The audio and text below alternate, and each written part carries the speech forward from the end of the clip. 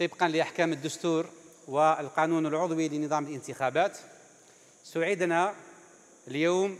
بتقديم ملف ترشحنا كمرشح لرئاسيات 7 سبتمبر باسم تكتل احزاب الاستقرار والاصلاح